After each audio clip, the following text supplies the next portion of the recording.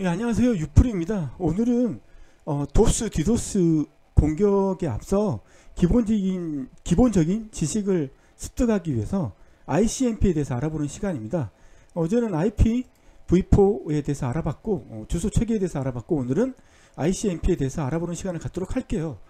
어, 항상 얘기, 얘기하지만 저는 어, 반도체 관련 프로그래머거든요. 예, 그래서 제가 전문적인 강사가 아니에요. 그래서 제가 제 그 동영상을 보면 알겠지만 우선 말을 좀 못하고 그 다음에 어, 답답 설명하는 게 좀 답답하게 설명을 해요. 그건 저도 인정을 합니다. 저, 아, 그럼에도 불구하고 제가 이걸 찍는 동영상 찍는 이유는 뭐냐면 어, 저도 이제 어, 학원 강사 투잡을 좀 해보려고 어, 그러기 전에 좀 말도 좀 잘해야 되니까 연습을 해야 되잖아요. 예, 그럴 용도로 이제 한번 이거 하면서 이제 사람들 반응도 보면서 뭐 그럴 그 그러려고 하고 있는 거예요.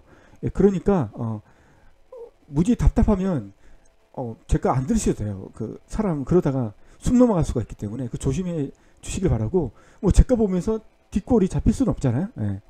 자, 그래서 충분히 그걸 이해하셨던 분만 이제 그 든다고 생각하시고 하고 이제 제가 계속 설명을 이어갈게요. 오늘은 ICMP에 대해서 하는데 ICMP가 어디에 있는지 이건 기억하고 있어야 돼요. 예, ICMP가 있는 곳은 바로 여기죠. IP 프로토콜 단위죠. IP 그 다음에 ICMP, ARP, RARP 중요한 것은 메인이 뭐다? IP고 IP 뒤에 ICMP가 붙는다. 이렇게 보시면 돼요. IP 뒤에 뭐가 붙는다? ARP가 붙는다. 이렇게 보시면 돼요. IP 뒤에 IP 패킷 헤더가 들어가고 그 다음에 내용으로 ICMP가 들어간다. 뭐 RARP가 들어간다. 이렇게 하시면 되고 이 ARP는 뭐냐면 IP 어드레스잖아요. IP 어드레스가 어드레스를 그 맥 어드레스로 알기 위해서 쓸 때 쓰는 거예요. MAC address. 어떤 거냐면 우리가 어, 이, 런게 있죠. 어, 제가 항상 뒤죽박죽으로 설명드리는데 이걸 이걸 이걸 이해를 하셔야 될 것 같아요. 이걸 이해를 하셔야 될 것 같고 찍다 보면 제가 마이크 있잖아요. 마이크 제가 마이크를 돈 주고 샀거든요. 그런데 저는 이거 사서 5만 원짜리인데 이 성능이 아주 좋을 줄 알았어요. 그래서 입하고 그 마이크하고 거리가 한 15cm, 20cm 떨어져도 얘가 엄청나게 소리를 크게 증폭시켜 줄 줄 알았거든요. 근데 안 그렇더라고요. 아, 한 10cm만 떨어져도 거의 소리가 안 들려요. 그래서 지금 제가 어떻게 하고 있냐면 이 마이크를 지금 손에 잡고 가수가 노래 부르듯이 제 입에 대고 지금 얘기를 하고 있어요. 이 얼마나 지금 어 조금 이상한 모습인데 지금 그리 노력하고 있어요. 그러다 가끔 가다가 얘가 내 입에서 떨어지면 어, 상당히 어, 조금 그럴 수가 있어요. 예, 그러니까 그것도 좀 소리가 작아질 수도 있으니까 그것도 좀 이해해 주시고 자 이, 이걸 이해를 하셔야 돼요. 제가 어떤 이해를 할 거냐면 이걸 이제 설명을 드릴 거예요. 아 이거 너무 커가지고 안 보이는데 이걸 이제 그 그쪽으로 가져올게요. 어, 연습을 해야 되니까 어, 이걸 복사를 해가지고 제가 잘하는 어, 페인트에다가 치는 걸로 하죠. 페인트. 페인트를 끄집어내서 그림판 그림판 영어도 못하는데 영어를 쓰고 막 그러는 거 좀 짜증나죠 아니 그렇다는 거죠 예. 자 control V 제가 말을 할 때 상당히 조심하려고 하고 있어요 그러면서도 저도 모르게 제 본성 같은 게 드러날 때가 있는데 정말 그걸 안 보여드리기 위해서 정말 노력하고 있거든요 자 이걸 보시죠 어. 자 우리가 IP address가 있죠 어. 이게 출발지 컴퓨터라고 보시면 출발지 얘가 출발지예요. 그럼 얘는 뭐가 있어요? IP 어드레스가 있죠. IP 어드레스. 내 IP address, 내 IP address, source address, 그 다음에 destination address. 자, 그럼 source address를 알고 있어요? 모르겠어요? 알고 있죠? 내 거니까. 그리고 destination address 알고 있어요? 내가 다음에 들어갈 건데 다음 모르는 사람 없잖아요? 다음 점 net도 알잖아요? 알고 있어요. 자, 이까지가 IP 단이에요. 자, 그럼 MAC 단으로 넘어가죠. MAC 단.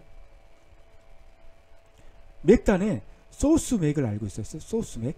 SM이라고 칠게. source MAC. 알고 있어요?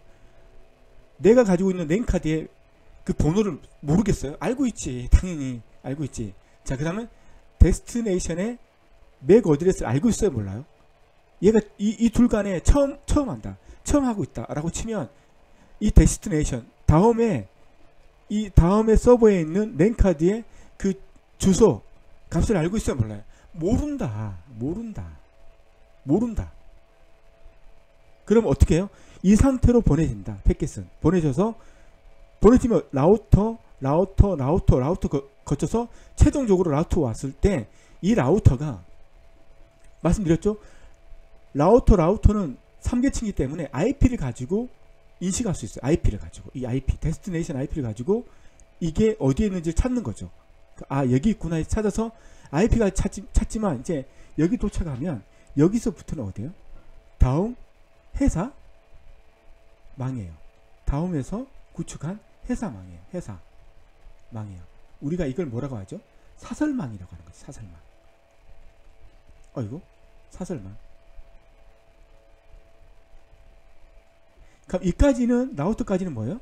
공룡망, 공유, 공유망, 공유망. 인터넷이 돼야 되고 그래서 이, 여기는 우리가 ISP 저 같은 경우는 뭐다? LG U 플러스를 쓰고 있다. 이게 뭐다? 보라넷. 보라넷을 쓰고 있다는 거죠. 이까지. 자, 이까지 됐다고 치고 이까지 왔어요. 근데 중요한 게 뭐냐면 IP를 가지고 어, 라우터를 통과했지만 이제 여기서부터는 뭐가 있다? 스위치를 통해서 들어가죠. 스위치. 스위치를 통해서 막 컴퓨터들을 찾아 들어가요. 이렇게. 컴퓨터들을 스위치 스위치를 거쳐서. 자, L2 스위치는 몇 계층 장비다? 2계층 layer 2 장비다. layer 2 장비는 여기서 여기로 가기 위해서는 뭘 알아야지 갈 수 있다? MAC address를 알아, 알아야 지 갈 수 있다. 근데 얘가 보낼 때 얘는 MAC address 모르니까 여기 안 채워서 보냈어요. 그럼 여기 도착했어요. 그러면 라우터가 이제 최종적으로 이 목적지에 이걸 전달해야 되는데 매, 보내줄 에, MAC address를 몰라. 그럼 그때 뭘 쓴다? A, ARP Address Resolution Protocol 얘를 통해서 여기 IP죠. 이 IP는 알죠? 어떤 IP? destination IP. 자기 IP는 알잖아요. 아니 이 IP를 알잖아요. 이 IP 접속할 웹서버의 IP를 알잖아요. 이게 웹서버겠죠. 우리가 웹서버 80으로 접속하니까 이 IP를 통해서 이 라우터가 최종 라우터가 broadcast 하는 거죠. broadcast 하는 것은 수많은 컴퓨터들한테 물어보는 거죠. 혹시 이 IP를 가지고 있는 애가 있니? 라고 broadcast 하는 거죠. 자, 지우고 다시 한번 깔끔하게 하죠. 자, 이 부분을 이제 설명을 드리는 거죠. 이 부분. 이, 이 둘 간의 부분. 이게 둘 간에 아주 간단한 게 돼 있지만 여기에 라우터가 이게 라우터고 이게 R이에요. 라우터. 그리고 여기서부터는 L2 스위치가 있겠죠. L2 스위치 하나가 있고 자, 이게 연결되겠죠. 이렇게 연결되고 다시 L2로 연결되고 L2로 연결돼서 최종적으로 여기 웹서버가 있을 거고 다음에 웹서버가 있고 어, 이게 뭐 DNS 서버가 있겠죠. DNS 서버. DNS 서버의 포트는 몇 번? 53번. 웹서버는 몇 번? 80번. 그래서 이걸 우리는 자다가도 외워야 된다. 시험 끝나기 전까지. 저도 옛날에 다 외웠다. 지금은 다 까먹었지만 뭘 외워야 된다? 여러분들은 이걸 외우셔야 된다.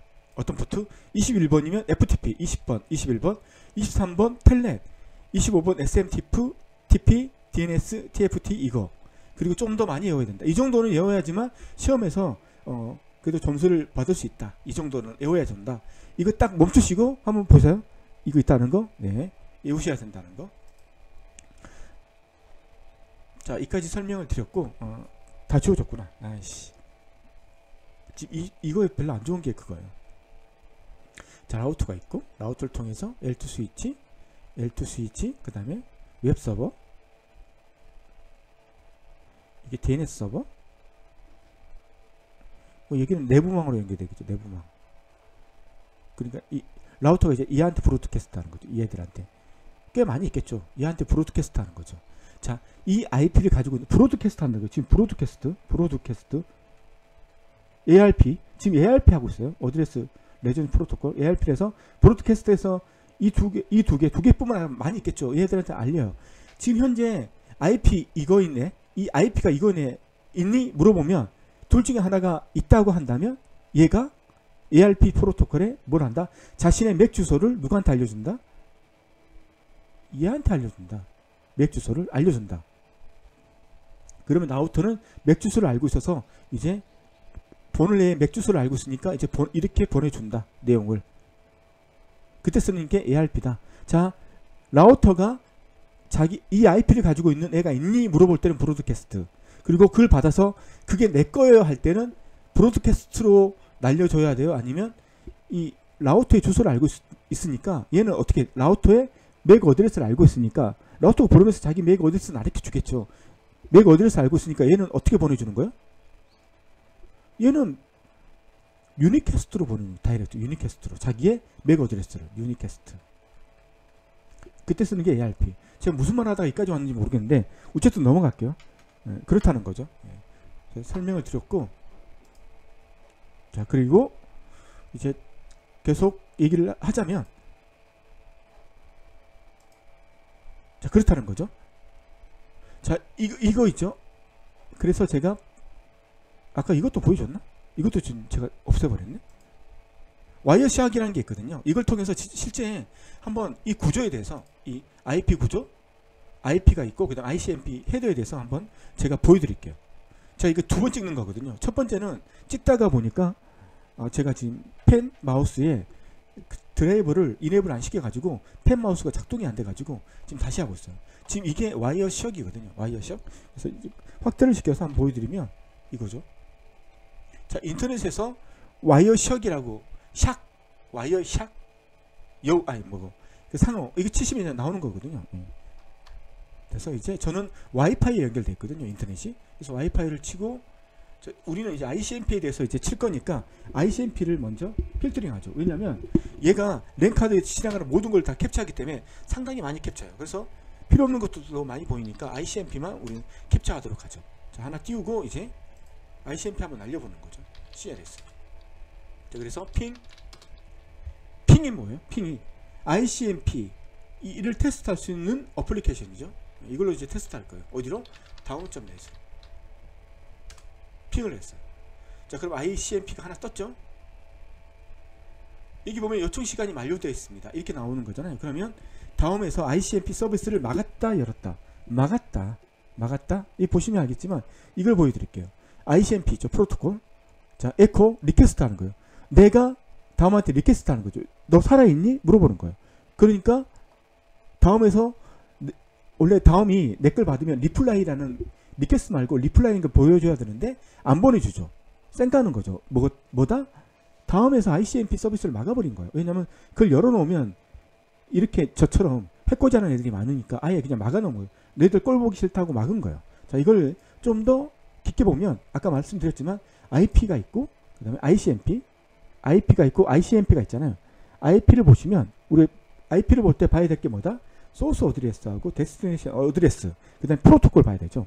아 보니까 ICMP 프로토콜이다 라고 하면 소프트웨어에서 어떻게 알아 돼요? 아 그 다음에는 ICMP 프로토콜이 오겠다 아니 header가 오겠다라고 하는 거죠. 그래서 ICMP를 까보는 거죠.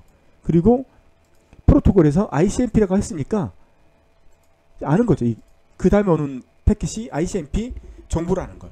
ICMP 정보가 중요해요. request면 타입이 8번이에요. 타입을 외워야 된다 했어요. 타입이 8번. 이게 중요한 거예요. response 없는 거죠.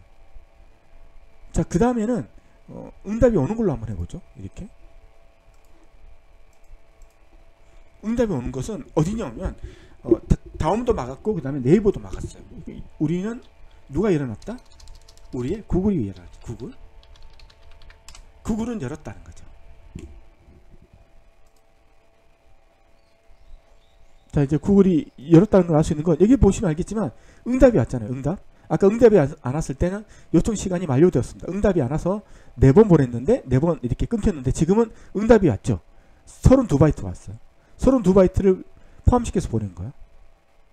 시간은 72 millisecond, 65 millisecond. 받는데 걸린 시간이죠. 보내서 받는 데까지 부- 걸린 시간. 중요한 게 아니니까. 자, 그래서 패킷 4개 보냈고 4개 받았다. 손실은 없다. 얘는 보면 패킷 4개를 받았는데 아니, 보냈는데 받은 건 없다. 손실 넷, 100% 손실. 이렇게 들, 들어가는 거죠. 그리고 최소는 여기서 65가 최소고 최대는 71이 최대, 최대죠. 시간이 평균은 67 millisecond. 자 이렇게 하는 거고 이제 Wireshark로 이제 보시는 거죠. 자, 이거죠. 이게죠. 제가 request를 보냈어요. 8번이죠. reply가 왔죠. 자 누가? 구글에서 나한테 reply 했어. reply 타입은 몇 번이다? 0번이다. 8번, 0번이 가장 기본이니까 외워야 돼요. request 요청한 건 8번, 리, response는 reply는 0번 이, 이렇게 온 거죠. request 했는데 reply 왔다. request 했고 reply 받았다. request 했고 reply 받았다. 이 구조, 그 다음 패킷 구조, 인터넷 IP 안에 그 다음에 ICMP가 포함되어 있다 라는 것을 지금 설명드리는 거죠. 그래서 IP 헤드를 까서 볼 수 있고 그 다음에 ICMP 헤더, IP 헤더의 프로토콜 보면 이 다음에 오는 얘가 ARP인지 아니면 ICMP 헤더인지를 프로토콜에서 알려주는 거죠. 그걸 알려주지 않으면 이 뒤에 어떤 애가 있는지 알 수 있어요, 몰라요? 모른다는 거죠. 예. 그걸 염두에 두시고 예, 이걸 보시면 되는 거죠. 자, 메시지가 중요한 거죠. 메시지가 음. 오류 보고 메시지, 오류 보고 메시지. 자, 한번 먼저 이론을 공부하시고 그 다음에 이게 어떤 건지는 이따 시역을 통해서 보여드릴게요. 자, 개념. 그러니까 ICMP는 두 가지 기능을 하죠. 아까 질의 명령어 살아있니? 살아있니? 물어보는 거. ICMP echo request 8번. 자, 질의 명령 두 개 있어요. 여기 보시죠. ICMP echo request. 그 다음에 두 번째는 뭐예요? ICMP echo reply. 질의 명령어 부탁해. 이 두 가지밖에 없어요. 질의 명령어. 너 살아있니? 나 살아있다. 이 알려주는 거. 자, 이게 보면 뭐냐면 어, 얘가 ICMP request를 통해서 얘를 호출해요. 그러면 라우터를 거쳐가죠. 라우터. 중요한 건 라우터를 거쳐가죠. 아, 그리고 최종적으로 거쳐갈 때는 스위치를 통해서 들어가니까 했고 그 다음 얘가 만약 살아있으면 살아있다고 reply를 널- 날리죠. 이게 타입 0번이고 이, 게 중요한 거예요. 그래서 ICMP에는 두, 크게 두 개의 메시지가 있는데 하나는 질의 메시지. 질의 메시지에는 타입 8번 request, 타입 0번 reply가 있다. 우리는 ping은 이 두 개를 가지고 알고 있다. ping. ping은 이 두 개다. ping은 이거 두 개고 오류 보고 메시지는 이걸 내가 만들 수 있을까요? 내가 만드는 게 아니라 라우터에서 내가 라우터에 요청하는 거죠. 다음에 접속하고 싶어 요청했는데 라우터가 다음 상태를 보니까 얘가 좀 이- 상태가 이상해. 그래서 이상한데 얘가 어떻게 이상해를 보내주는 거죠. 라우터가 받아서 지금 너가 접속하려고 는 애가 지금 상태가 이상해. 근데 얘가 어떤 상태야? 상태가 이상한데 그 상태는 이거야 하면서 타입의 번호를 보내, 보내주는 거죠. 그때 쓰는 게 오류 보고 메시지예요. 그러니까 내가 ICMP를 날렸는데 네트워크에서 어떤 오류가 생긴 거예요. 그 오류를 나한테 다시 알려주는 거예요. 아, 그래서 저게 서비스 하는 애가 없구나. 아니면 지금 보내려고 하는 그 네트워크망이 뭐 디도스 공격을 받아서 지금 상당히 혼잡해서 내가 응답 받을 수 없는 상태구나. 이걸 알려준다고 라우터 쪽에서. 아니면 목적지 목적지 호스트에서 알려준다고. 그때 쓰는 게 오류 보고 메시지예요. 그 이제 나한테 내가 보낸 사람한테 얘가 어떤 상태인지를 알려주는 거죠. 알려주지 않으면 답답한 거죠. 날렸는데 응답이 없어. 그럼 너가 죽었는지 아니면 지금 네가 디도스 공격을 받아서 지금 정신이 없어서 못 보낸 건지 그걸 모르잖아요. 그때 알려주는 게 오류 보고 메시지예요. 개념은 IP 계층에서 패킷 전달 때 문제가 발생하면 에러 유형을 송신 측에서 아니면 송신 측 가까운 라우터에서 알려주는 거죠. 라우터에서 알려주는 거죠. 라우터 또는 받는 애가 나한테 알려주는 거죠. 대부분 ICMP 에러 메시지는 라우터로부터 발생해요. 대부분은 라우터로 발생하고 어, 특별한 경우는 지- 목적지 호스트에서 보내줄 수도 있다. 네, 그렇게 하면 되는 거죠. 생성 시 제약상. 뭐 이게 시험에 나올 수도 있겠죠. 그러니까 무슨 말이냐면 오류 보고 메시지를 보내지 못하는 경우. 그러니까 어떤 경우냐? 이거 이거요. 이거 시험 문제 나올 수 있겠죠. 그래서 이 정도는 조금 익혀두는 게 좋다는 거죠. 시험 문제에 나올 수 있으니까 이런 것들은 시험 문제 내기 좋잖아요. 이거 이거. 자 ICMP 메시지 전달 과정에서 발생된 오류 메시지에 대해서는 또 다시 생성되지 않는다. 오류 메시지에 대해서 다시 오류 보고하지 않는다. 자기가 생성한 라우트에서 생성한 오류 메시지를 그에 대한 또 다시 오류 메시지를 생성하지 않는다. 이 당연한 거겠죠. 예. 단편화된 IP 프로그램 중 첫 번째 것을 제한 나머지 단편들에 대해서는 생성되지 않는다. 아시겠지만 우리가 제가 엄청나게 큰 응? 영화 파일을 보낸다고 생각해요. 영화, 영화 파일을. 자 이걸 보내면 자 라우터가 있어요. 라우터가 이게 1기가예요. 1기가.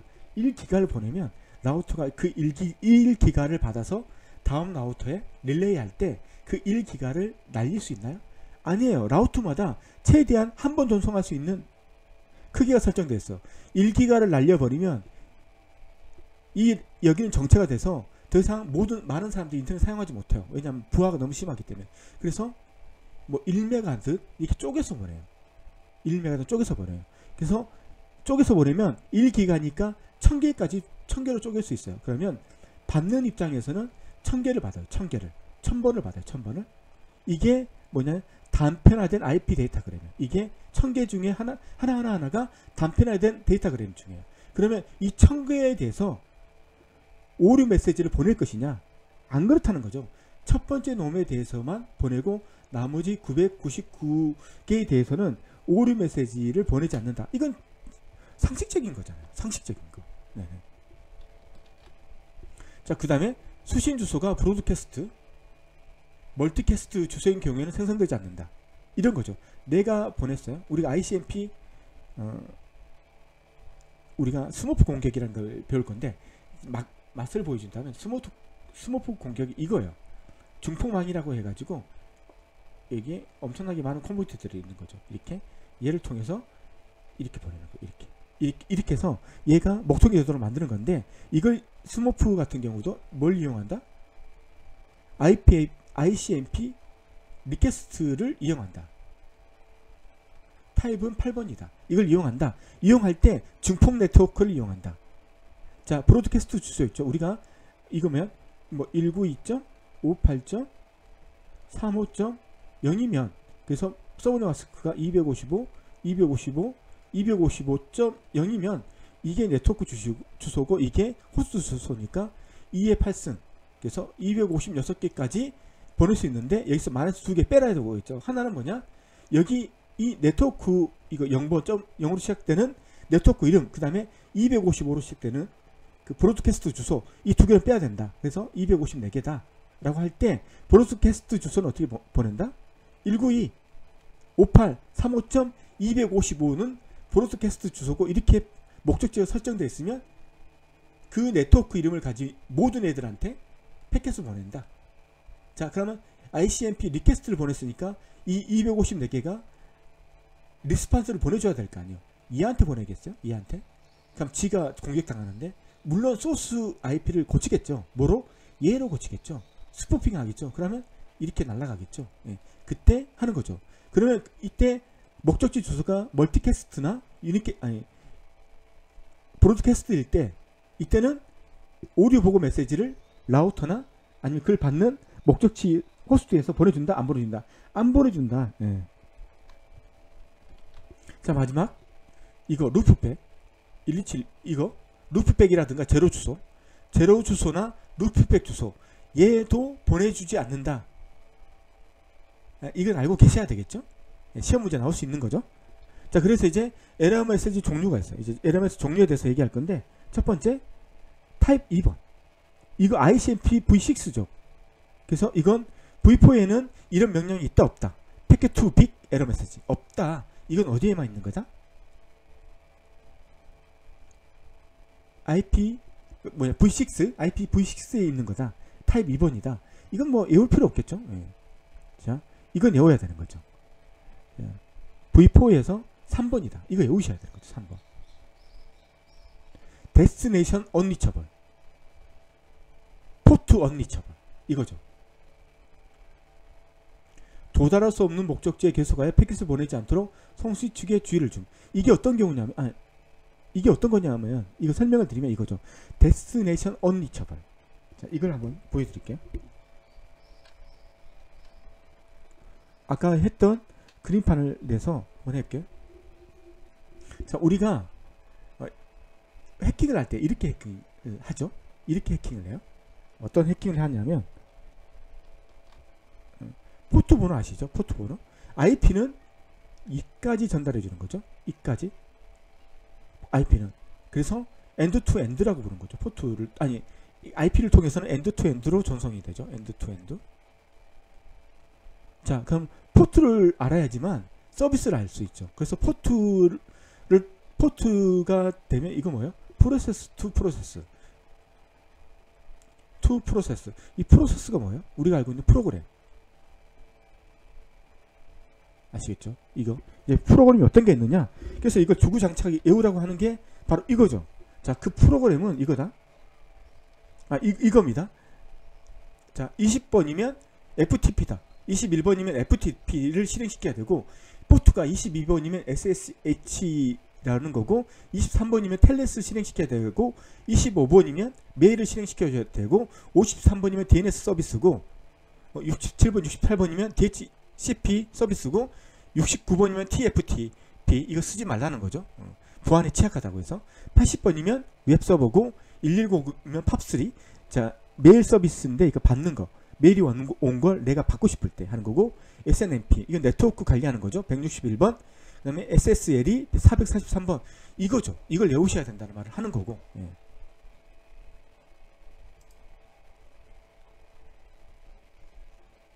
자 그래서 이게 아까 destination unreachable port unreachable 있죠 destination unreachable 어떤 거냐면 그 메시지가 갔다는 것은 이거요 IP를 통해서 여기까지는 간 거예요 근데 우리가 보낼 때 포트는 얘가 쓰지 않는 포트 뭐 이상한 포트 이 정해져 있을 건데 뭐 일반적으로 뭐 4321 이거 제가 몰라요. 이렇게 없는 포트를 보낸 거죠. 보낸 거예요. 그러면 얘가 이까지 왔는데 나는 있는데 내가 지금 서비스하는 포트 서비스 중에서 4321번은 내가 서비스하지 않아. 이때 보내는 게 뭐다? 언리처블. 그러니까 그 말은 뭐예요? 언리처블을 그 메시지를 보내는 즉시 내가 알 수 있는 것은 아 이 컴퓨터가 살아있다. 이 컴퓨터가 살아있다. 이걸 알 수 있는 거죠. 네. 중요한 거겠죠 이거? 이 메시지. 그래서 중요하다는 거예요. 그래서 이게 타입 3번 이거 외우셔야 돼요. 뭐의 타입 3번? 오류 보고 메시지. 이거 누가 보내준다? 호스트가 보내주겠죠. 호스트가. 최종 호스트가 보내주겠죠. 나는 그런 포트를 지원하지 않아. 너, 너한테 서비스하지 않아. 보내줄 때 뭐? destination unreachable. 이 메시지가 나오면 해커는 어떻게 생각할 수 있는 거죠? 아, 저 컴퓨터가 살아있는 거구나. 지금 할당어가 있구나. 지금 전원이 들어와서 지금 서비스 중이구나. 이렇게 알 수 있는 거죠. 자, 그 다음에, 음, 이건 뭐 그렇게 많이 나오는 것 같진 않은데, 이거 사, 타입 4번. 폭주가 발생한 상황을 송신 측에 알려서 송신 측이 전송을 잠시 중단하거나 전송률을 줄이는 등의 조치를 취할 수 있도록 하는 역할. 이거요. source quench. 이거죠.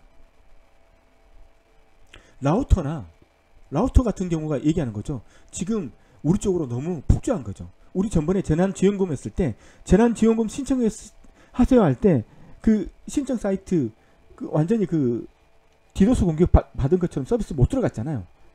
예. 네, 우리가 저는 이제 고향이 부산이라서 부산에 갈 때 새해 갈 때 아니 뭐 할 때 이제 기차 예매를 해야 되잖아요.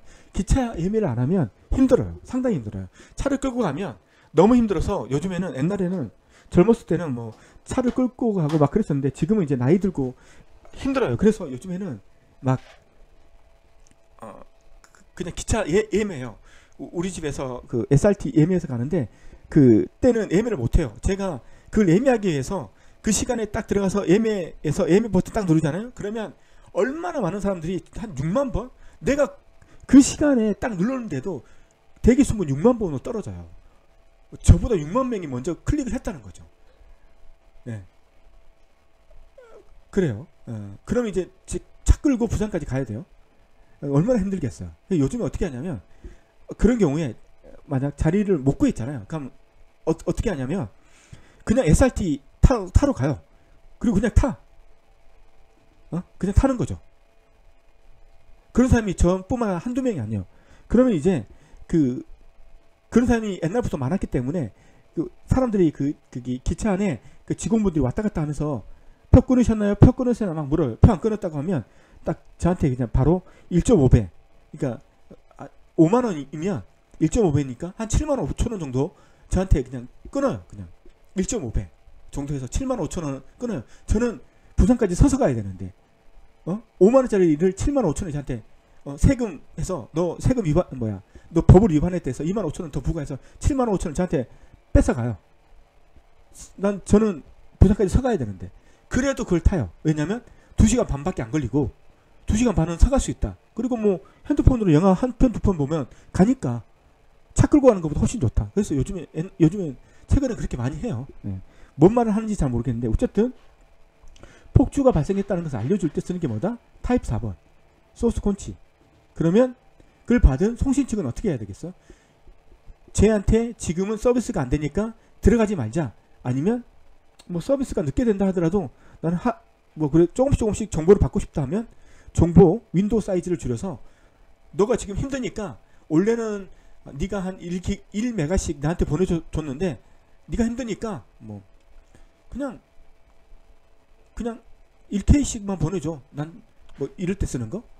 자, LMS 종류 redirect 이거 이거 5번 중요한 거죠. 타입 5번. 이 ICMP V6 요즘 요즘에 이거 이건 안 물어볼 것 같아. 이거 물어보면 와 정말 힘든 서비스죠. 그래도 여러분들은 그냥 한번 그 들어가기 전까지 이, 런 것들은 어떻게 다 외우겠어요. 이런 것들은 이제 메모해 놔야지. 자기가 메모해 놔서 들어가기 전에 바로 직전에 한번 읽어봐야 되는 거죠. 이거 이것들. 음. redirect가 어떤 거냐면 송신 측으로부터 패킷을 수신받은 라우터가 특정 목적지로 가는 더 짧은 경로가 있음을 알리고자 할 때 사용한 에러 메시지 redirect. 이는 동일 subnet 여러 라우터가 존재하고 디폴트 라우터가 잘못 세팅된 경우 사, 사용한다. 제가 지금 혀가 짧은지 발음이 잘 안 될 때가 있어요. redirect 메시지가 이거죠. 자, 이걸 한번 보는 거죠. 자, 라우터가 있어요. 이 라우터가 있고 음, 이것만 있겠어요? 이, 이쪽으로 가는 라우터도 있겠죠. 이것만 있겠어요? 상당히 많겠죠. 어? 이, 얘도 있고. 근데 이 라우터는 지금 이렇게 설정되어 있었어요. 근데 원래 이 컴퓨터로 갈 때 이 라우터로 가는 게 가장 빨랐는데 내가 이제 엉뚱하게 다른 걸 하려고 하는데 이 얘 같은 경우는 이 라우터를 통해서 가는 게 혹시 또 속도가 더 빠르고 길이 단축된다는 거죠. 그러면 아까 그 redirect 메시지를 보내주는 거죠. 얘가 보내주는 거죠. 아, 아 이렇게 이렇게 연결되는 거죠. 이렇게 이렇게 맞죠? 이- 이렇게 이렇게 이렇게 연결되는 거죠. 얘가 알려주는 거예요. redirect 메시지로 야 나보다 더 빨리 갈 수 있는 애가 얘거든. 얘 주소를 알려주는 거죠. 그러면 얘는 어떻게 한다? 아, 이, 이 얘거든. 알려주는 거죠. 그러니까 얘는 다음부터 이 컴퓨터 갈 때 어떻게 한다? 이쪽으로 라우터를 경로를 틀어서 요청하는 거죠. 이렇게 하는 거. 그때 알려주는 게 redirect 메시지가 되는 거죠. 설명을 제대로 하고 이해를 제대로 시키고 주고 있는지 잘 모르겠는데 자 time exceeded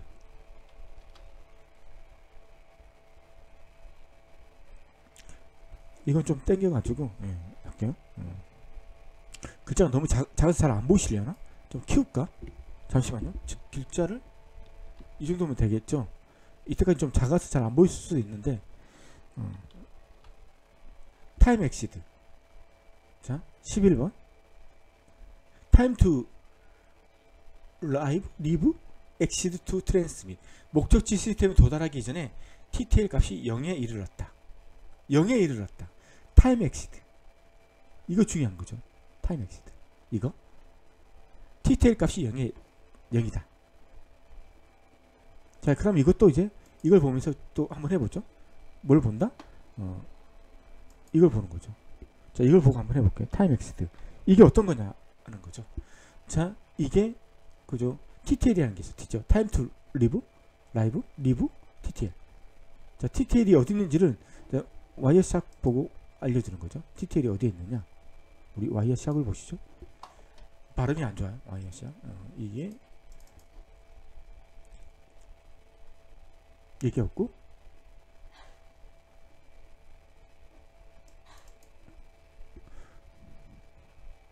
Time to live 여기 있네. Time to live. 128 128이죠. 윈도우는 128이에요 기본이. Time to live 128이에요. 이게 128이라는 것은 뭐냐면 이걸 얘기하는 거죠. 음. 자 마이크를 다시 이 마이크를 다시 밑에 떨구고 이제 마이크의 입을 입이 떨어지지 않도록 만든 상태에서 제가 하는 거죠 자 ping 하면 google.com 이렇게 하면 구글까지 갈 때 라우터가 몇 개까지 거치는지는 모르겠지만 상당히 많은 라우터가 거칠 거라고 생각이 되는 거죠. 그래서 이 time to live live는 128로 우리는 윈도우의 경우는 128로 설정해줘요. 그러면 최대 라우터를 몇 개까지 허락해준다? 128개까지 허락해준다. 근데 라우터를 128개를 거치는 동안에도 목적지에 도달하지 못하면 그냥 그 패킷은 폐기시키는 거죠. 자, 그래서 이렇게 되는 거죠. 처음에는 자, 이제 그걸 기본적으로 이걸 생각하고 이, 이, 쪽을 생각하면서 이걸 보면서 다시 얘기할게요. 자, 그러면 처음에 ping을 때릴 때 어떻게 된다? TTL은 128로 설정되어 있다. TTL. 기본적으로 128이 설정되어 있다. 어디에서? 윈도우에서. 윈도우에서. 리눅스는 모르겠다. 응? 리눅스 할 때 알아보자. 자, 그럼 어떻게 돼요? 처음 이렇게 되는 거예요. 128을 가지고 가는 거죠. 자, 여기 도착했어요. 그럼 TTL은 이제 한 개 도착했으니까 마이너스 1을 하는 거죠. 127. 또 하나 도착했어. 그럼 TTL은 126으로 감소돼요. 이렇게 쭉쭉 쭉쭉 가다가 얘가 도착했는데 이게 0이 돼 버렸네. 여기 오면서 128개의 컴퓨터를 거쳐온 거죠. 0이 되는 순간 어떻게 된다? 여기서 0이 됐다고 하죠. 여기서. 여기서 0이 됐다고 하죠. 되냐? 한 번만 더 가면 컴퓨터가 있는데 그럼에도 불구하고 TTL이 0이 되는 순간 뭐 한다? 그 패킷은 인터넷에서 삭제된다. 폐기된다. 폐기시켜버린다. 폐기. 폐기시킨다. 폐기. 폐기시키면서 얘가 누구한테 알려주는 거죠? 얘한테 어떤 걸 알려준다? 그때 알려주는 에러 메시지가 뭐다? 저는 기억이 안 나요. 네, 기억이 안 나기 때문에 저는 볼게요. 저는 시험에 합격했어요. 네, 죄송해요. 네. 뭘 보내준다? 이거 11번 이걸 보내준다. 이걸 받는 순간 뭐다? 아 절망하겠죠. 절망하겠죠. 네. 이거 네. 이거고 다음 two 이것도 이제 보여드릴게요. 네. 어, 떻게 오는지 자 그럼 fragment reassemble 제가 말했죠 1기가 1, 1기가짜리 영화를 보내면 라우터를 거치면서 라우터가 보낼 수 있는 패킷 크기로 다 쪼개진다고 쪼개진 걸 최종 목적지에서 다시 조립을 해야 될 거 아니에요 그래서 1기가, 1기가짜리 파일로 만들어야 될 거 아니에요 네. trace router가 중간에 거치는 라우터들을 확인할 때 datagram에 헤드에 문제가 있거나 없던 옵션이 었거나 뭐지? 아, trace router가 중간에 거치는 라우터들을 확인할 때 사용. 아닌데? 이거 잘못했는데?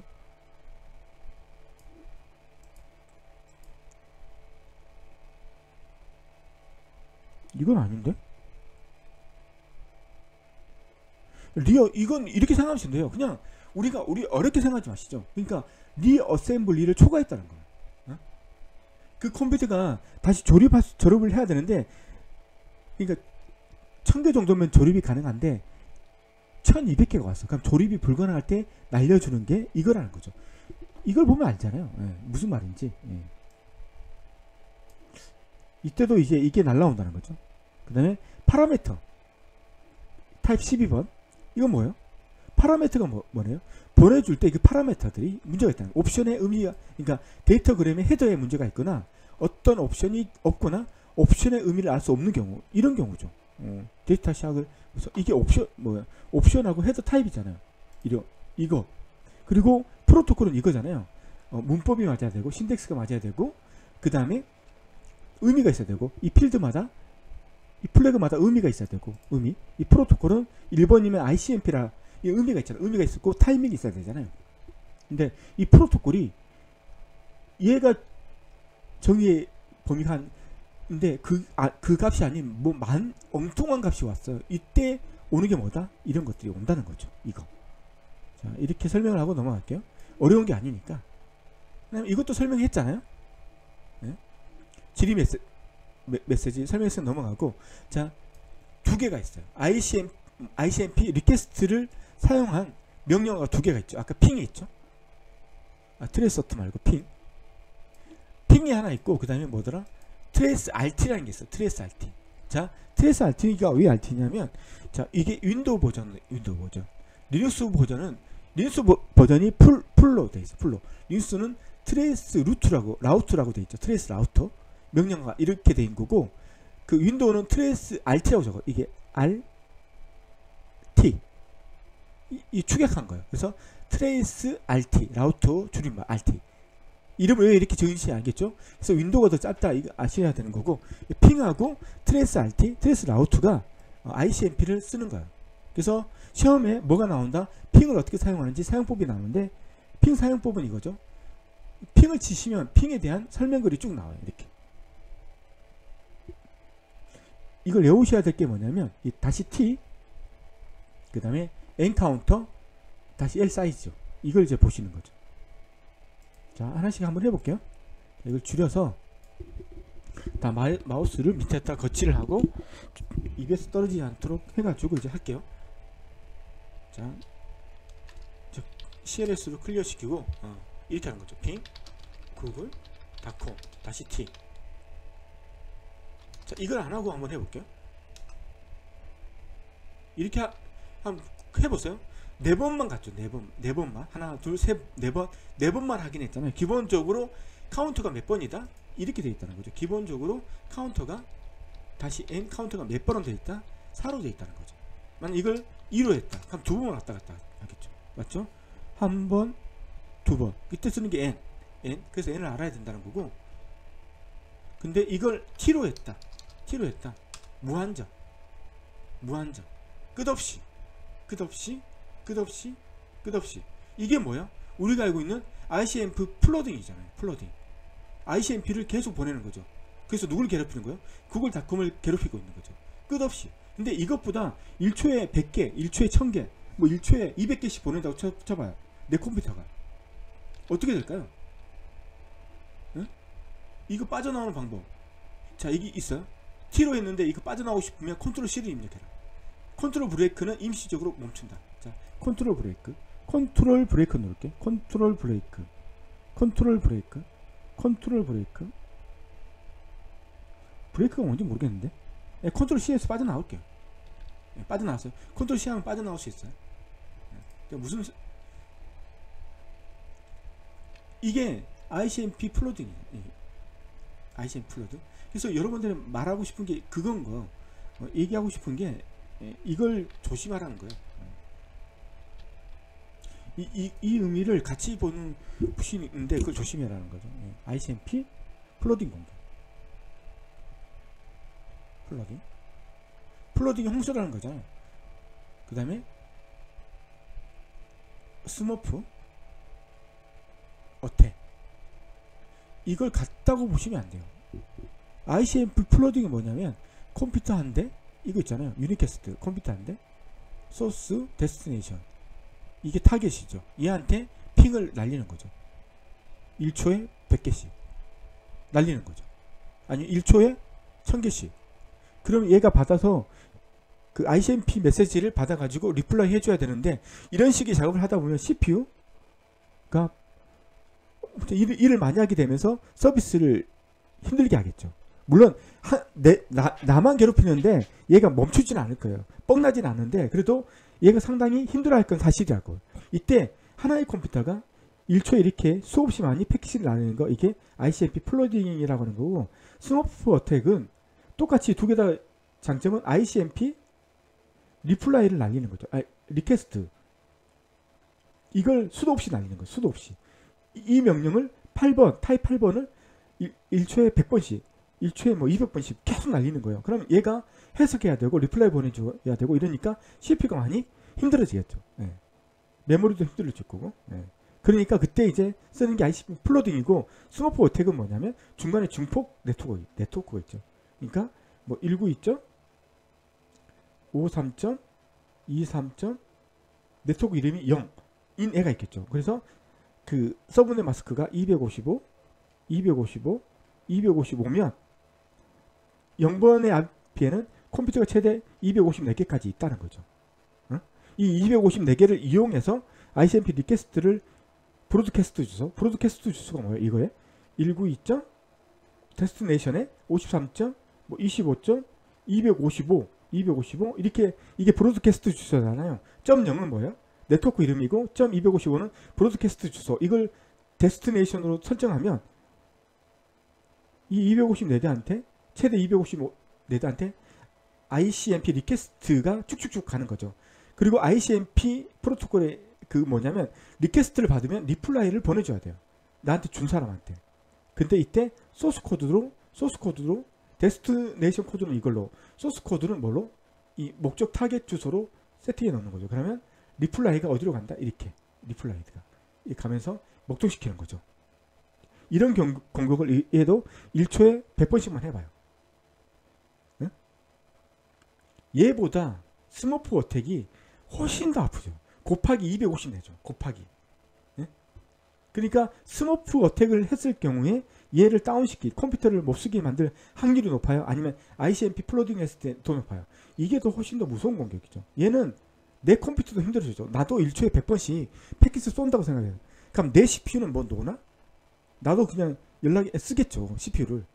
둘이 둘이 삐까뻔쩍해요. 삐까뻔쩍. 물론 나보다는 타겟이 더 힘들어요. 얘는 저는 이미 조립된 패킷을 그냥 날리기만 하면 되는 거고 얘는 받는 족족 그걸 다시 프로토콜을 해석해야 되기 때문에 그 시간도 만만치가 않아요. 네, 그렇다는 거죠. 자, 그래서 이걸 외우셔야 되고 그 다음에 사이즈까지도 지정할 수 있죠. 최악이죠. 이렇게. 이- 한번 생각해 봐. 이- 이렇게 이렇게까지 보내 보낸다고 생각해 보세요. 응? 아, 이, 이런 공유죠. 핑 다시 T 무한정 보내. 그리고 뭐 다시 N 사이즈가 얼마? 1, 10, 100, 1000만, 10만, 100만, 1000만, 어, 10억 이렇게 이걸 한번 보는 보는 생각해 보세요. 1초에 100개씩 이렇게 사이즈가 엄청난 큰 걸 한다고 생각하세요. 이 사이즈를 저장해야 된다. 받으면 이 사이즈를 저장해야 된다고요. 이걸 저장해서 이 안에 무슨 내용인지 해석해야 된다고. 그럼 메모리가 고갈되겠죠. 이걸 1초에 100개씩 받는다고 생각해보세요. 근데 지금 우리는 윈도우에서 막았어요. 막았다니까.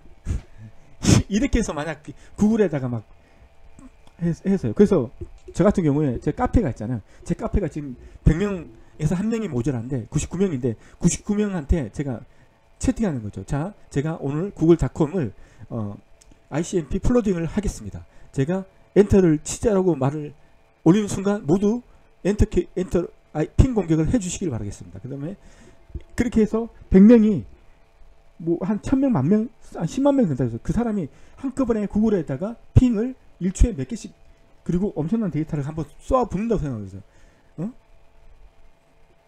끔찍한 거죠 구글은. 예. 이렇게 쓰는 거죠. 그래서 너무 큰 걸 보내면 안 되고 몇 개만 보낸다? 그냥 한 바이트씩 뭐- 이 바이트 크기 한 바이트. 보내는 거죠. 보이시죠? 한 바이트 보냈다는 거. 자, 컨트롤 C. 자, 이걸 두 바이트 보내죠. 저는 해커가 아니기 때문에 이런 해코지 하지 않는 거죠. 자 보시면 두 바이트. 씩 가죠?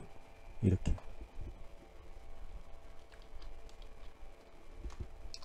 자 했고 이, 여기 아주 마지막 trace route trace RT에 대해서 알아보죠. trace RT는 이거죠. 음, 이 개념이 이거예요. 제가 구글까지 가는 경로를 다 보여주는 거예요 ping은 최종 목적지가 내 패킷을 받았는지 확인하는 용도로 쓰는 거죠. reply를 보내주면 아 쟤가 살아있구나 이거 아는 거고 trace router는 뭐냐면 이 라우 거치는 라우터들의 정보들을 다 보여주는 거죠. 어떻게 하느냐면 아까 TTL 값이 0으로 소진되는 순간 끝난다고 했잖아. 예. 음, 처음에 얘 같은 경우는 TTL을 1로 해주는 거예요. TTL을 그래서 보내주는 거죠. 이렇게 보내. 그러면 얘까지만 가겠죠. 첫 번째 라우터까지. 그러면 얘가 TTL이 0이 되는 순간 어떤 오류 메시지를 보내주는 거죠? time to exceed, time to exceed. 아까 이 이거 있잖아요. 아, 저도 좀 외워야 되는데 아, 이거 time exceed 이걸 보내주는 거죠. 목적지 시스템에 도달하기 이전에 TTL 값이 0으로 이르렀음. 이걸 보내주는 거죠. 한번 이것도 한번 해보죠. 어, 이것도 trace RT 해가지고 한번 해볼게요. 자, 우리 이걸 하기 위해서 싹 해서 아, 종료를 시켰어야 되는 건데 이거 지- 어떻게 지우더라? 이게 지우는 명령을 몰라가지고 예. 다시 껐다가 다시 켰고요. 깔끔하게 좀 했- 했으면 좋겠다는 이 바램으로 제가 껐다 켰어요. 저도 와이어시역을 잘 사용하지 않아서 제가 다시 한번 말씀드리지만 저는 해커 뭐 이런 사람이 아니에요. 그래서 자, 저보고 해킹 잘할 것 같다고 해서 뭐 그러, 그렇게 생각하시면 안 돼요. 저 못해요. 예. 제가 말씀드렸잖아요. 제 2에 제 job을 구하기 위해서 저는 그 talking talking skill을 키우기 위해서 지- 지금 이걸 하는 거라고. 예. 그래서 그걸 듣는 사람들은 얼마나 답답하시겠어요. 예. 이런 초짜한테 듣는 여러분들은 자 여기서 저는 뭐 ICMP만 보고 싶다는 거죠. 아까 ICMP를 이용하는 프로토콜이 뭐가 있다? ping하고 trace route가 있다. 지금은 어떤 걸 테스트할 거다? 저는 trace route를 테스트해서 TTL 값을 봐야 돼요. trace route 할 때는 TTL 값을 봐야 된다는 거죠. TTL 값을. RT죠. 윈도에서는 RT예요. 그 구글 닷컴. 자 보냈어요. 왔죠? 몇 개만 하고 그냥 끊을게요. 자 끊을게요. 이제 끊었어요. 자 보여드릴게요. 제가 이제 trace route를 route를 통해서 명령 쳤는데 ICMP 프로토콜을 쓴다고 했죠. 이- 그러니까 얘들이 찍히는 거예요. request를 했죠. 그래서 TTL 값이 1이죠. TTL 값을 1로 해서 보냈어요. 그래서 뭐가 왔다? 이 1, 1 값을 보내준 거죠. 뭐 누가 라우터 또는 그걸 받은 호스트가 보내준 거죠. to live exceed. 예? 이거 오잖아요. 보내줬잖아요. 예, 이걸 보내주는 거죠. 그 다음에 그 이것도 ping에 특- 세 번씩 보내요. 세 번, 세 번씩 request를 세 번씩 하는 거죠. 그리고 끝나고 이제 TTL을 두 번 하는 거죠. 1을 1을 또 1을 줬어요. 이 의미는 무슨 의미예요? TTL 2라는 것은 어디까지 확인하고 싶다는 거예요? 어, 어, 어디까지냐면 얘 맞아? 아 얘가 아니구나. 얘 얘구나. 자 이번에는 이까지 보내는 거죠. 그래서 이까지 한번 보내보고 그럼 이 얘 주소를 알려주는 거죠. 이 주소 하나 찍어주고 그 다음에 이까지 했으니까 얘 통과해서 이까지 가겠죠. 그러면서 time exceed가 나오겠죠. 그러면서 찍어주는 거죠. 이때 이 route의 IP 폰을 찍어주는 거죠. 여기다 찍어주잖아요. 이렇게 이렇게 찍어주잖아요. 제가 자기가 거쳤던 그 서버들의 IP를 찍어주잖아요. 그래서 내가 구글까지 가, 가는데 내가 구글까지 가는데 어떤 라우터들, 어떤 서버를 거치는지 쭉 보여주는 거죠. 이렇게. 이거 어제 했죠. 그래서 74번 때 이 여기서부터가 아마 미국 주소고 여, 여기서부터가 그 한국 주소인데 정확히 말하면 제가 유- LG U 플러스 보라넷을 쓰고 있기 때문에 보라넷 주소들이 이게 나오는 거죠. 예, 이렇게 쭉쭉 나오는 거죠. 3이면 그 다음에 처음에 1로에서 보내고 그 다음에 2로에서 라웃 에서 2까지 보내고 그 다음 TTL을 3으로 해서 2까지 한번 보내고 4로 해서 2까지 보내서 최종적으로 2까지 보내주는 거죠. 예, 그걸 이제 제가 캡처했던 걸 이제 보여드리는 거죠. 이렇게. 저 Wireshark을 보시면서 한번 보시죠. 이걸 time exceed 보시면 어, 타입이 11번이요. 11번. 그래서 11번이 맞는지 확인해 보시죠. 맞겠죠, 뭐. 11번. 맞잖아요. 이렇게 오잖아요. 11번. 그걸 보실 수 있다는 거죠. IP 프로토콜 뭐 볼 필요 있나 여기도 ICMP time to live 64 ICMP 이렇게 해서 보내는 거죠. 뭐 그렇다는 거예요. 예. 뭐 여기까지가 이제 시험에 나오는 것들 정리한 건데 이제 기본적으로 이제 오늘 제가 하고 싶었던 얘기는 다 했어요. 예. 그래서 그걸 이해해 주시면 돼.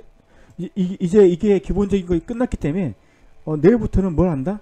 DoS 공격부터 시작할 거예요. 근데 DoS 공격과 디도스 공격의 차이점은 거의 없어요. 차이점 뭐예요? 컴퓨터 한 대에서 해코지 하느냐? 여러 여러 개의 컴퓨터가 한 괴롭히느냐? 한 명이 괴롭히느냐? 여러 명이 괴롭히느냐? 여러 명이 괴롭히면 디도스. 한 명이 괴롭히면 DoS. 공격 기법은 도스나 디도스나 주목되는 공격 기법이 많아요. 그러니까 도스는 한 명에서 공격하는 거고 그 기법을 디도스는 여러 명에서 동시에 괴롭히는 거고 그게 디도스고 그러니까 도스냐 디도스냐 구분법은 아주 간단한 거예요. 한 명이서 괴롭히느냐 여러 명이서 괴롭히느냐 그거예요. 근데 공격 기법은 도스나 디도스나 똑같다는 거죠. 틀린 게 없다는 거지. 그걸 잊지 마세요. 도스나 디도스나 공격 기법은 다 똑같다는 거. 그래서 이게 도스 기법이냐 디도스 공격 기법이냐라고 얘기하는 것은 정말 웃긴 얘기라고요. 그거. 여러 명이서 여러 컴퓨터가 괴롭히는 괴롭혔냐? 아니면 한 대서 괴롭혔냐? 이거의 차이 뿐이지 괴롭히는 그 방식, 그 방법 이건 디도스나 도스나 똑같다는 거죠. 그래서 내일부터는 이제 어, 공격법에 대해서 이제 알아보는 시간을 갖도록 하겠습니다. 어, 오늘 예, 여기까지 할게요. 감사합니다.